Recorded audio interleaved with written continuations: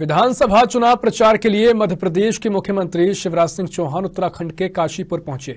BJP प्रत्याशी पूरन फत्रियाल के समर्थन में जनसभा को संबोधित करते हुए उन्होंने विकास में हर संभव मदद करने का वादा किया है।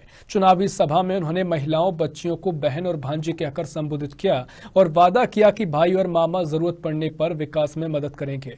कांग्रेस पर निशाना साधते हुए उन्होंने कहा, चार धाम बद्रीनाथ, केदारनाथ, गंगोत्री, यमुनोत्री हैं, लेकिन कांग्रेस के चार धाम सोनिया गांधी, राहुल गांधी, प्रियंका गांधी और रॉबर्ट बाड्रा हैं।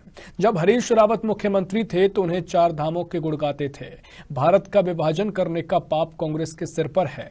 पंडित जवाहरलाल नेहरू भारत के प्रधानमंत्री थे।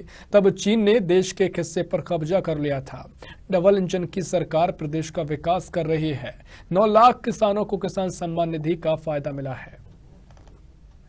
अभी हम लोहा घाट से आ रहे हैं। जनता में, भारतीय जनता पार्टी के प्रति मैंने अभूतपूर्व उत्साह देखा है।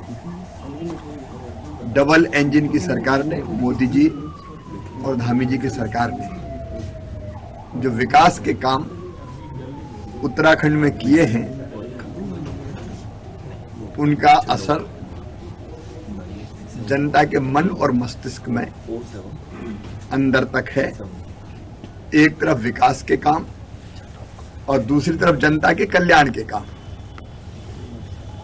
अलग अलग तरह की जो योजनाएँ किसानों के लिए, गरीबों के लिए, आम जन के लिए, महिलाओं के लिए बेटे बेटियों के लिए, उसका असर चारों तरफ़ दिखाई दे रहा है।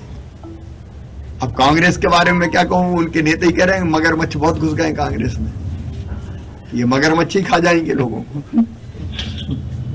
कांग्रेस कांग्रेस इसलिए सीधे सीधे लोग भारतीय जनता पार्टी को जिताएँगे फिर से।